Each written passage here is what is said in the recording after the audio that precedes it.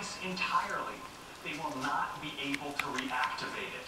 The government has actually been calling on tech companies to address the issue of smartphone theft. The idea that, sure, you can track your phone, but when someone steals that phone, the robber or the thief can wipe it clean and start using it. Here, Apple's come up with a feature that won't allow that to happen.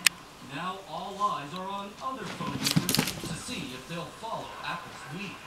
G-Opening Sun's ABC News, New York. And we have some news about America's rating battling back tonight. You'll remember the U.S. was stripped of its AAA rating by Standard & Poor's nearly two years ago in the heat of the battle over the debt ceiling. Well, today, Standard & Poor's raised the outlook from negative to stable. S&P citing smaller deficits and better cooperation in Washington. And we got word today that the economy is about to get a big boost. The auto industry revving up for a lot of new hires. Car makers in Detroit looking for